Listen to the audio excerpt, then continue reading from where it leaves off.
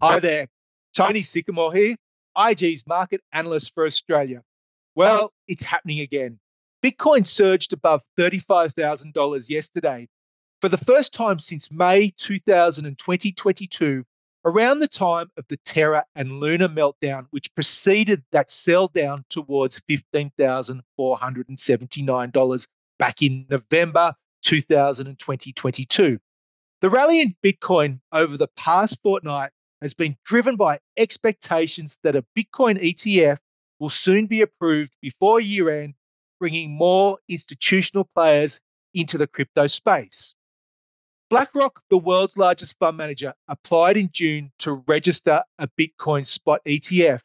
And if approved, it would certainly bring a new sense of legitimacy to the crypto space. Given that approval is not a given, and may still be many months away, it is important, as always, to safeguard our views against the charts. Let's take a look at the Bitcoin charts now, starting with the weekly chart, which you can see here on the chart before you. As we can see here, Bitcoin made a high of $69,000 back in November 2000 and 2021 before falling down to this low here in November 2000 and 2022. It then proceeded to trace out a rounded bottom before finding itself comfortably entrenched in a new range between 32,000 and 25,000. There's that 25,000 level I'm talking about. And then up here is the range highs, which Bitcoin really traded between April of this year and then, of course, past week, week and a half. After breaking out of these range highs, the picture now becomes a little bit more impulsive. You can see the rally over the past week and a half has been almost parabolic. Extreme oversold readings here from the RSI do strike a warning sign in some respects.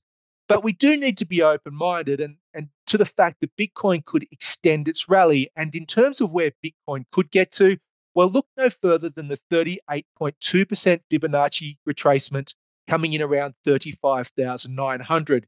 If you just let me shift back to the weekly chart, you can see that this Fibonacci comes from this 69,000 high down to this 15,479 low. Not far above this 35,900 area, where you can also see there is a 50% Fibonacci retracement of the entire bear market coming in around 42,000. So they are two levels, really important levels for me that you need to keep in mind.